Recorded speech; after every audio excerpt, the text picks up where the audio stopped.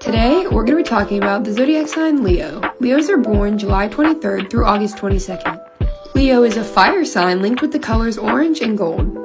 Known as the performer, they are expressive, warm, loyal, proud, dramatic, radiant, and fierce. Their main drive is to impress. They are enthusiastic, confident, and charismatic, but they can also be egotistical, stubborn, and arrogant. The most compatible signs with Leo are Aries, Gemini, Libra, and Sagittarius, and the least compatible signs with Leo are considered to be Taurus and Scorpio.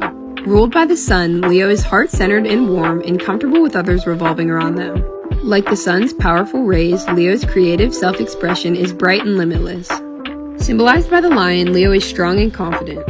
They extend their loyalty and joy to whoever's around them. Identifying so strongly with the sun, the center of our galaxy, Leo must only be wary of falling into self absorption.